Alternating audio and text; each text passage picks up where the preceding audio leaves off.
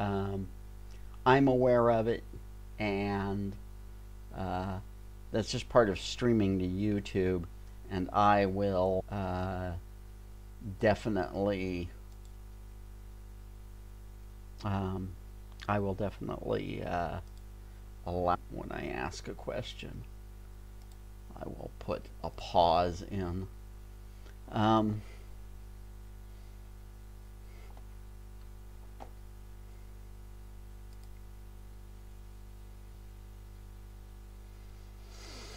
okay, and I think we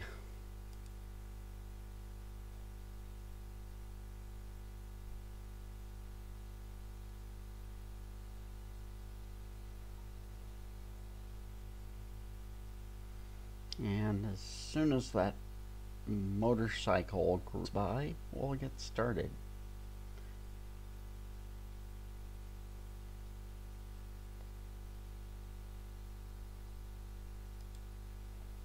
Okay, and welcome to uh, first lecture of SWI-Prolog Beginners, and we are going to have uh, a chance tonight to uh, explore some Prolog kind of for the first time one week into class.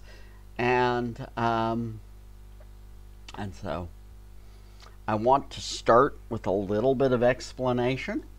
So I'm going to go back to the screen and I'm going to show you this diagram. This is kind of the big parts of Prolog. Prolog is a query language. You start by asking a query.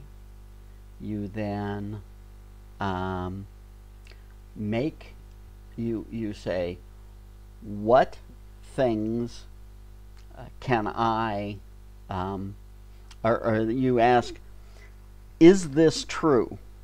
And usually in the, the course of figuring out if something is true, if it can be proven, then uh, the then Prolog will do a couple. May have some side effects that are useful.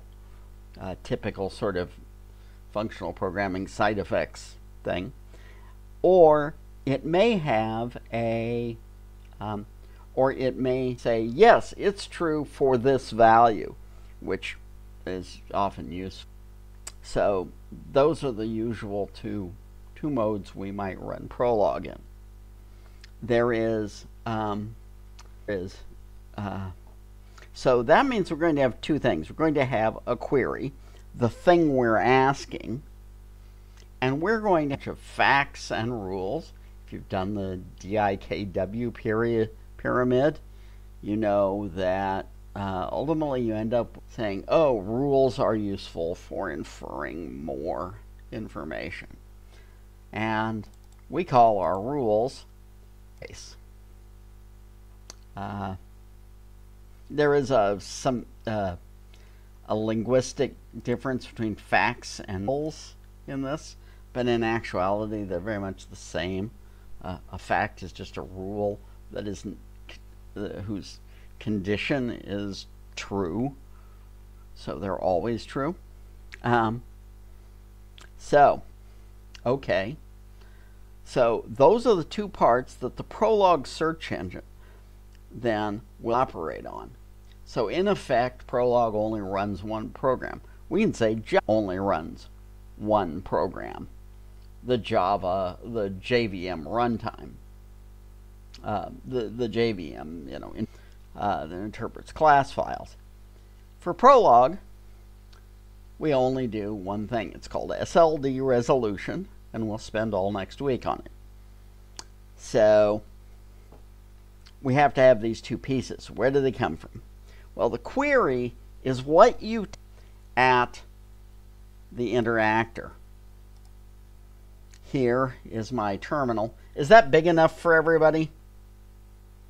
Say so if I need to bump that up. Um, so if I start SWI-Prolog, this is an interactor. And I can do things like I can ask for what x is x a member of the list A, B, C. And it will tell me A. And then it will blink at me like it won't give me another question mark minus prompt for another query. And uh, instead, it will stop and blink at me like this. And that's because it suspects it might have more uh, solutions for it. And of course, B is also a member of the list ABC, and so is C. And in this case, it figured out it had no, so uh, it just stops with C. Um, sometimes you'll see it uh, stop, and then it'll say, oh, I, I don't have any more. Uh, we'll talk about the hammer story. Um, so, uh, so that is the interactor. Um, few practical things. Uh, it has pretty much read line key. Um, we we compile with either read line or edit line. Read line is GPL'd, so we compile with um, edit line. And if you really need full read line, you have to you have to do that yourself. Um, so, uh, and the other part is, uh, how do you stop them? Well, how do you stop Prolog? You can query a thing called halt. And halt has the useful side effect that it stops SWI-Prolog. Okay? That's how you get um, you get the uh, hey would would somebody uh, respond to whoever came up on announcements and invite them to join the lecture that's in progress. Um, I, that would be a cool thing to do. So that gives us gets us the query. I've had uh, a couple of students ask me, so can I like type code in at this question mark minus sign? And basically, no, it's not a REPL. It's an interactor. You're in a query language, and there's two parts. Is for over here. Um, the other part you're going to need is a knowledge base. A knowledge base is an internal set of representations of rules. That's what it is. Uh, there's no separate notion of in Prolog. Code is data. Um, so, uh, whatever you have in your knowledge base is your. And where does that come from, though? Well, when you start up SWI-Prolog, somehow it's got to load that in. And this it does that by is called consultation. Am I going too fast for people? How's the pacing here? Are people good? People following along? Give me some baffleometry here.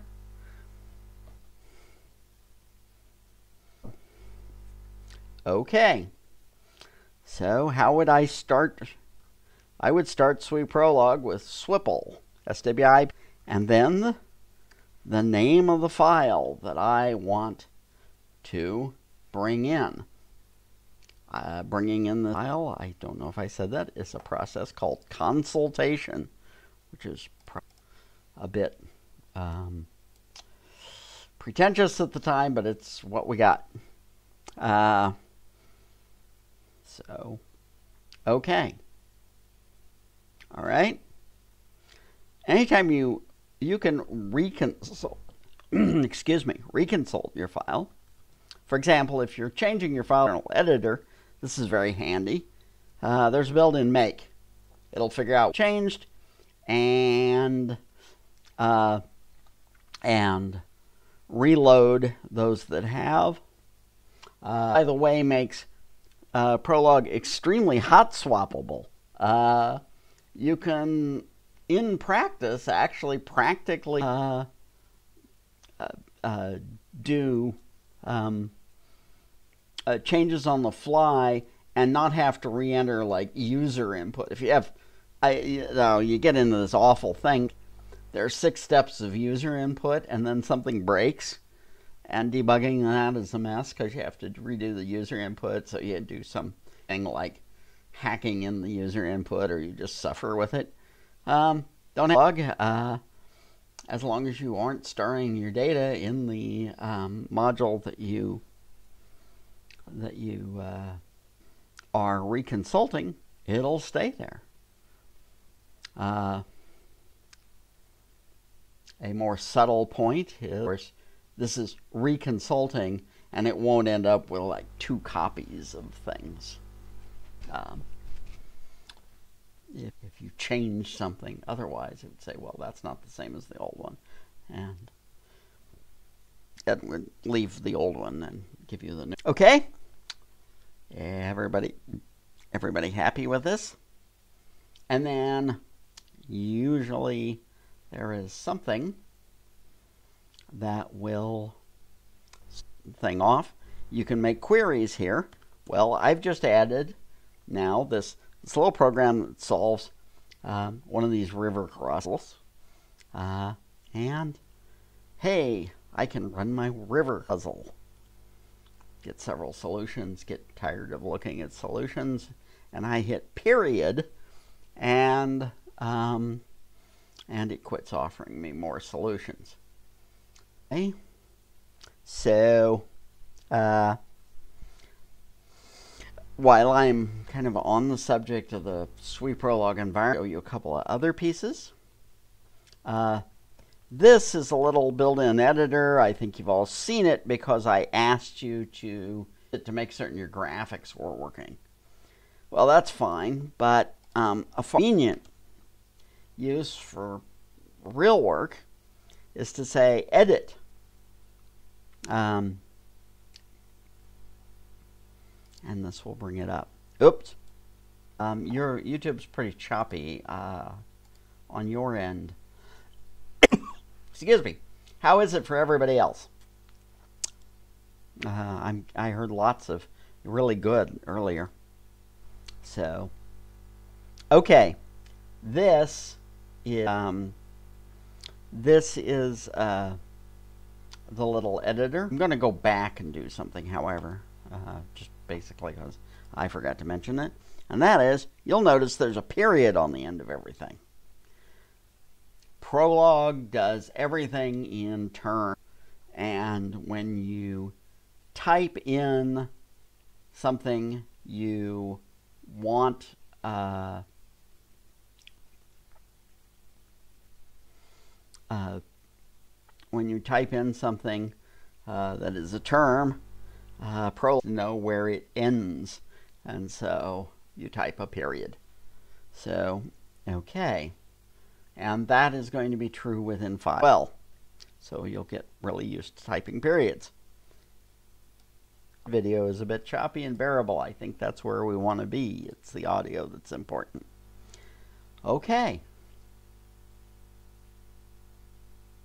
Semi-transparency of the console has some flickering. Ooh, the tran the console is indeed semi-transparent. I don't know why that is. I'll figure it out. Um, I'm not going to do it now.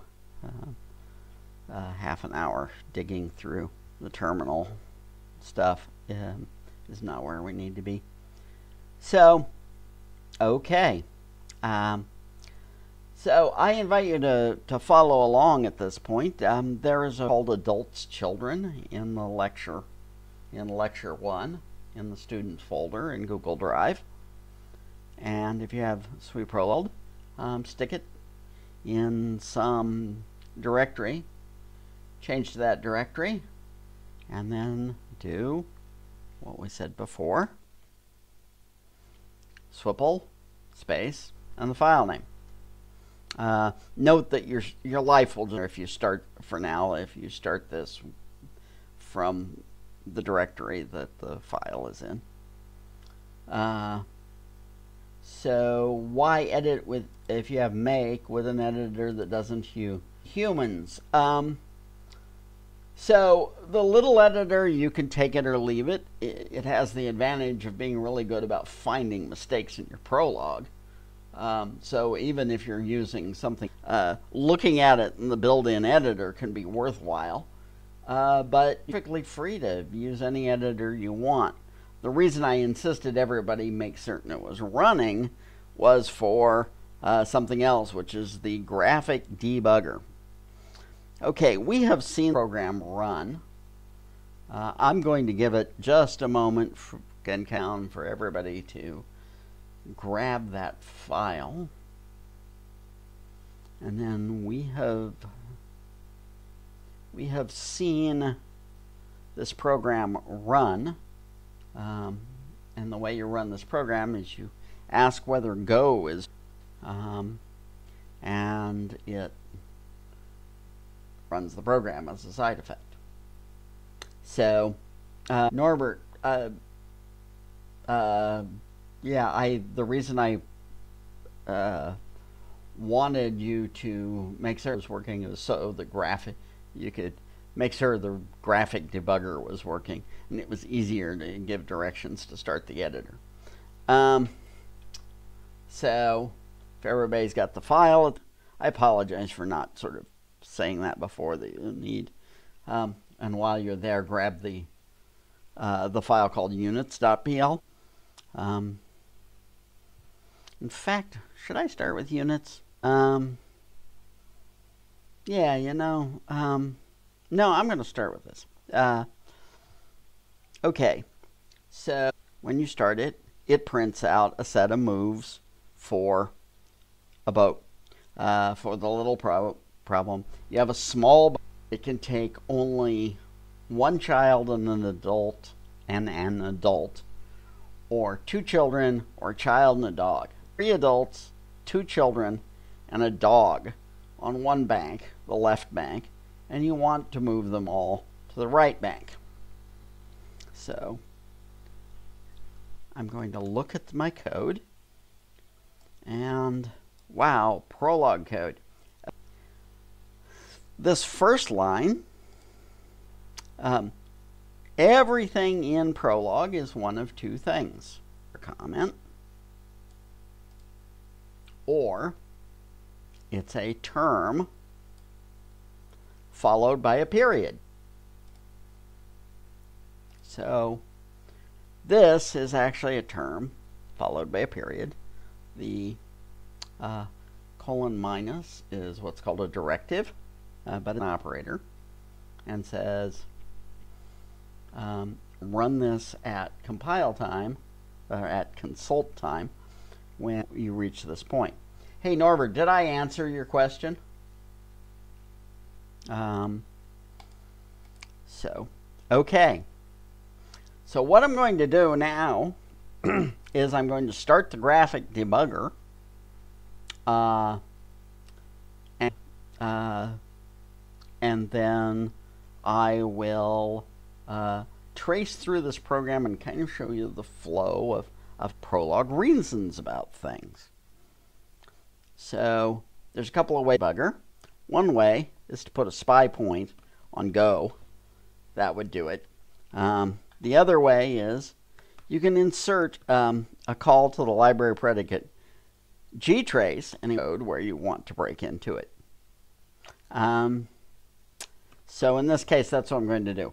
I'm going to say, hey, can you prove to, that gtrace and go is true? And Prolog will naively go out fire off gtrace, which will drop itself into the debugger, and then it will attempt to debug go. Boom. Okay. So, all right, we got green. Space gives us in. S gives us, and then you all know this painful thing with debugging where it's like, oh, I hit, I don't think it's that and you hit S, S, and after half an hour of like being in the middle of chasing this thing down, S one too many times, and darn it, you went over it. And now you have to start again. Well, with Prolog, you don't have to do that. Because with Prolog, if you do that, you can hit, and it'll back up one predicate, and you can, and let you run it again. Of course, if you have side effects, the side effects will be repeated can't have everything. Okay. So, the go is true if and and yes, I'm going to be I, I wanted people to see Prolog before they really started studying it in detail. So I am showing you a bunch of code without having introduced a lot of this stuff. So don't worry if your baffleometer goes up. Uh, so go is defined as true if init is true um, for some value. And the crossing plan for that value of init is a plan. And write plan is true for some init and plan. All right? And hey, this is looks narrative code, and that's because pretty much is. Um, init is true. Well, I only have one condition that can make init true. And that's if its argument is this thing, which is a compound term or complex term. It's, we use both terms. Sorry, I got one too many characters in there. I want to show you this. Uh, this, which means I am on the left, and there are three adults, two children, and one dog on the right, or on the left bank. So, okay. So that's the only way in it can be true. So hey, uh, init is um, when when it's this complex term. Okay, and um, of course, when I run this, I'm going to get a plan. I'm going to step over it at first to show you that I do get a plan. Hey, I do. Uh, the plan, you can double click. Uh, I double click there to get this come up.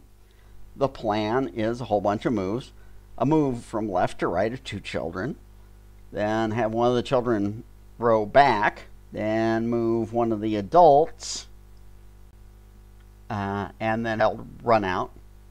Yes, um, okay. Uh, the keys I am pressing, um, I'm going to anyway.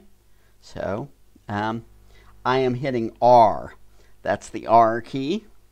And uh, uh, that gets me back up to here, uh, to the start of whatever I'm in. Uh, space bar gets me in. And, um, I could hit space bar and go in, but that is not very interesting. So I go S and go over it. Okay. And now I'm going to go over it again and I will show you this, which I got by on this spot on this thing. And if you double click anywhere in there, um, this is the local bindings. Uh, all essentially all variables are local scope in Prolog. So that's the only scope there is. Over here is the back, but since we're in Prolog, this gets a lot hairier than a normal call, call stack, which we'll soon see. Um, then here, this is just a good way to inspect a single variable, uh, you know, laid out for, for pretty printing. Okay, and then this one, of course, will write the thing out. That's a little less interesting. I'm going to go back. I'm going to hit R again and restart. Okay, I have restarted. I hit space and go to uh, go into it. And then this time I'm going to hit space and we will look to see how it makes a crossing plan. Okay. Now, haha. Here's a note, an important comment. Um, I will tell you, comments are important in Prolog because the language is so flexible that it gives you sometimes relatively few clues what's going on if you use single character and uh, don't uh, provide comments about what's going on. Okay. ARG states a, states is a list of uh, complex terms, left, adults, children, and dogs on the left bank, and right, ACD, where the members are left bank but the boat's on the right. Okay? So we're always going to be keep track of how many people are on the left bank. All right? Okay. And we've asked, what is a crossing plan? Our program provides three ways of making a crossing plan. The first is that the plan starts with um, no one on the left bank, in which case we're done. Everybody get that? That's a little more woo woo. Everybody get the uh, no that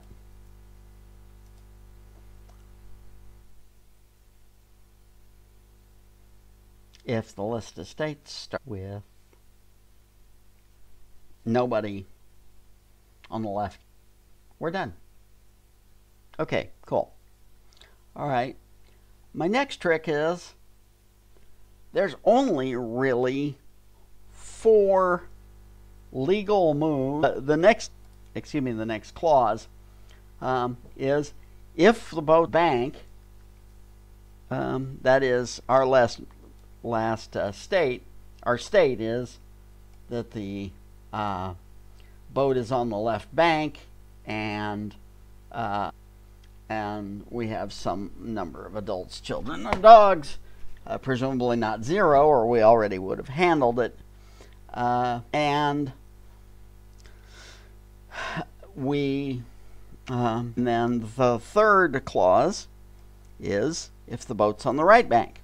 So for now, we're stuck on the left bank, so we're going to be in this clause. Member is a library predicate that just um, is true if its first argument is a member of its second argument. Say, hmm, are there any solutions for move or move as a, right? This is the thing for. Um, and yes, it's going to give us the first one. So, um, the truth is that there aren't that many different ways. Uh, you can put an adult in, you can put a child in, you can put two children in, you can put a child and a dog. That, it turns out, is the only possible legal moves. So, okay. So I have, um, I have a, um, the next line said, does destructuring. Uh, if you know Clojure or Haskell or Scala, I think, uh, you're going to have seen destructuring. Um, and uh, this is simply, I need the out of this complex term. So I'm going to do something sneaky. I'm going to say, what term LR with three arguments what three arguments would be the same move. And of course, that just gives me the three arguments. And those they've got to be those three numbers. Um, the next problem we've got is do we actually have enough people on the left bank to move? We can't move an adult over if there are no adults left. Can't move the dog over if there's no dog left we've got the dog on the right bank already. So we'll check that for adults, children, and dogs. Um, and now we're going to figure out what the new state is. And uh, gosh, that's actually not all that complicated, right? We're just going to move the people over. Okay, so I've got a move and I've got the original state. Um, notice I've I've kind of uh, remade my my structure here out of A, C, and D, uh, just because I uh, uh, that's what I had. Uh, oh, okay. I will subtract off the number of people in the boat, and we'll move the boat to the right. Okay?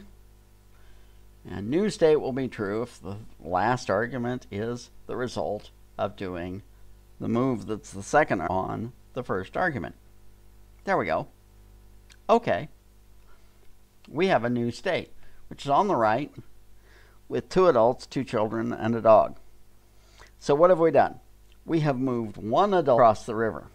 Now, um, question for the audience Is this a smart move?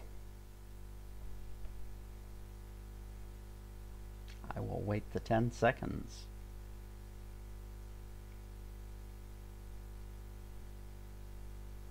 Are you guys out there? And what do you think?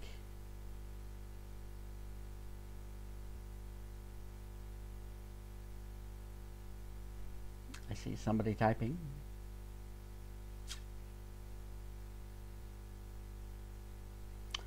Backslash plus means not. And, uh, yeah, because the only thing you can do with that adult is have them row back across. But we've got to, and it makes poor decisions. Not a good move, no. So, okay. So the next line says, uh, yep, it's a no-op. Uh, okay, so uh, the next line says, uh, is this new state our list of previous states? And the truth is, I, I and we want to check for this. And the reason we haul our entire history of states with us is because otherwise the computer would foolishly move the adult over, realize it's not idea, good idea, and move the adult back, move the adult over, back, move the adult over, move the adult back, and this would go on forever. So, I want to say, is it provable that the new state is state? And if it is, and then I so I want to say, is it not provable? And at some point we'll discuss open and closed world uh, and uh, um, uh, and uh, negation is failure. So, um, but not today. So, so this is actually only good this is only a solution if it fails, right? If there is no solution. Okay, so it's red, which means there was no solution, which makes sense. We just have the initial position, and uh, uh, past in this case is going to be nothing. So we just have the initial initial position to test for. So, since that was not means that it's it succeeds and we can try another move. Now we're going to recurse. Recurse, the boat's now on the right hand side. So we um, we want to use the rule for the right hand side. Okay, and there's really only two useful things. Uh, this is this is a good point about Prolog is having a proof search doesn't mean your domain knowledge is useless. Prolog will do its depth first search thing, but uh, in this case, um, there is no point. Is there? Let me ask you: Is there ever a point? Uh, is there ever ever anything to be gained by an adult rowing back river.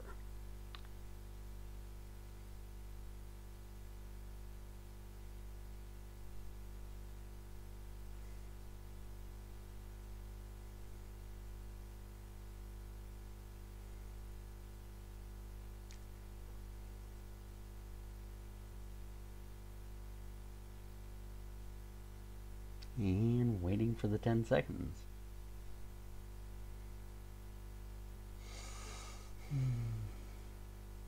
No. Okay, yay. Uh, no, there's no point. So we don't even the possible rules. Yes? No, there, Norbert, there is no point. Yeah. Um, yeah, yeah, you know, the adult could with a child, but then the only way the adult can get back is, again, with the same child. Right. We want movement to the right of adults. So, okay. So the only reasonable things to do are get two children on the left bank or one child on the left bank. Argument that holds for the adults holds for the dog. Right? Uh, the dog can't row itself, so it's not going to be useful as a um, uh, as a other things.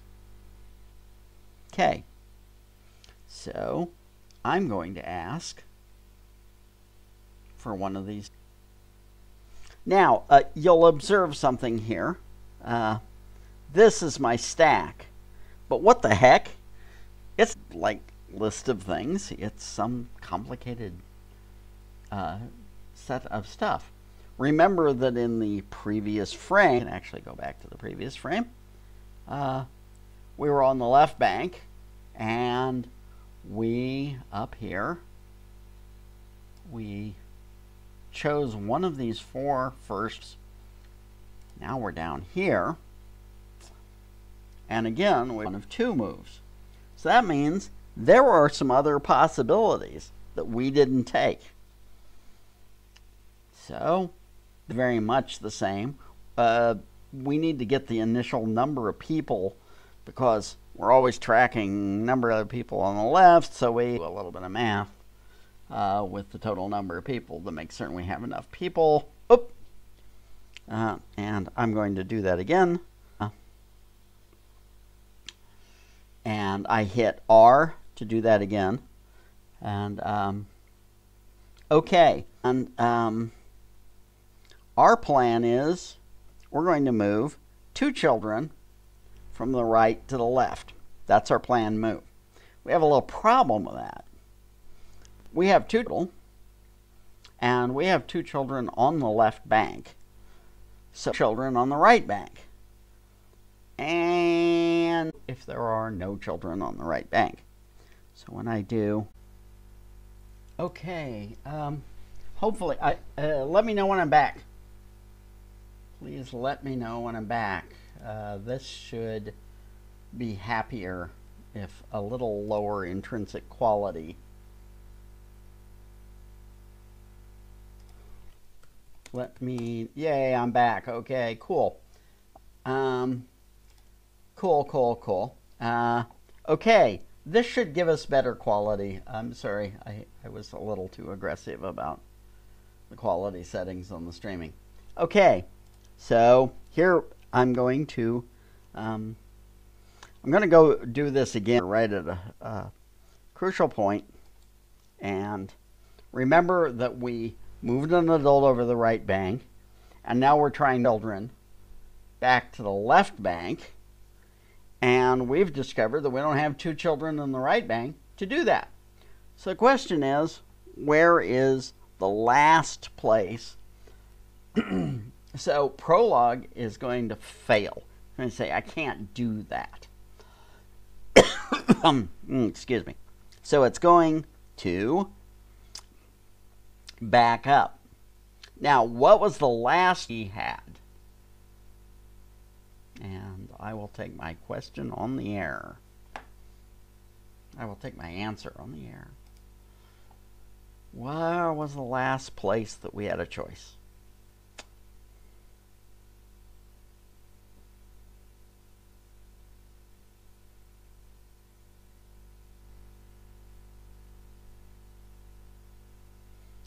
Yeah, um, a specific the most recent call to member.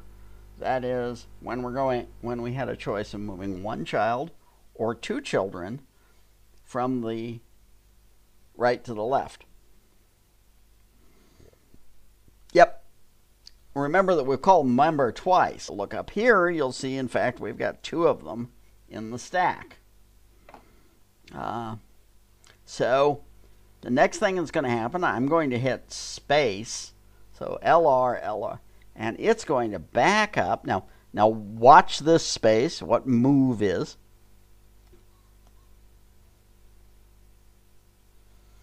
And hey, it's going to back up. It's going to undo all the computation it's done since that member. And now it's going to bind move. It's going to try giving me a different proof. This is why Pro will give you different proofs at the top level. It's because it's treating you the same way it's treating everybody else. That is, everything does this trick of giving you multiple proofs. In fact, this is Prolog's only control structure. This is influence flow of control, um, flow of execution. So, okay, now we got one child. And I'm not going to wait for it, but you can predict what's going to happen here. We don't have one child either.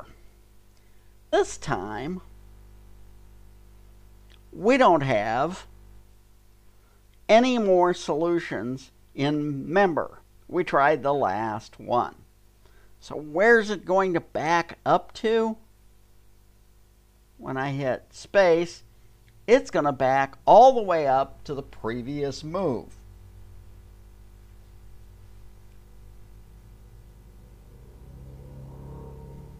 And say, this did not work. Since I can't make a crossing plan, starting with an adult moving over, I will, that's, it's going to keep failing backwards and I'm going to roll this down a little so we can see the member. And notice it tried one adult and no children and no dog. That's what move is. One level back. And then we go back to the member. I will hit S. We will go over. And this time it will offer to move one child. That's a more reasonable choice. We will destructure that. We have enough to do that. That is not in our previous list. We're making progress. And now I have a child. This time, can again, I'm, I'm hitting S uh, sorry, I had space to get into this thing. I get over. Um, this time, of course, I don't have two children, but when I back and it gives me one child, it will succeed. We've got enough folks to do, move. Uh, we can figure out what the new move is and I hit S and um, it's not uh, detected a loop yet. But now that doesn't get us anywhere either because all we did was row a child across the river and then row it back. Okay? And so this goes. Uh, obviously we could be here quite some time if I just ran this. I'm going to hit F um, which right finish that's F as in Fred. F. Um, and um, I wanted to hit F in there. I ended up with F on member. And you'll note, in fact, that at this point I have a stack 23 uh, choices of member back in because we're making. And now I'm going to go all the way back up to the top and I still have all those choices uh, in case I want to back up. And you'll remember when I started this, I demoed the program and I just ran it and I told you about the semicolon to give give us extra extra copies of the plan. Uh, write plan is not very interesting. It's just recursive. Uh, it's just a recursion that goes through the list and prints the elements. I'm going to hit S and go over it. And I will hit a space. So that's my little demo. Um, and I think I'm comfortable with what I did here. Um, I I had a another program in the in the waiting, but I'm not going to use it tonight. Uh, somebody's asking a question, or I see typing going on. So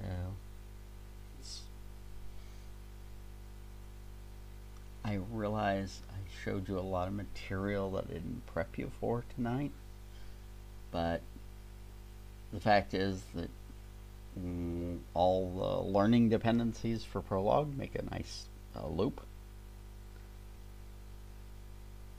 Um,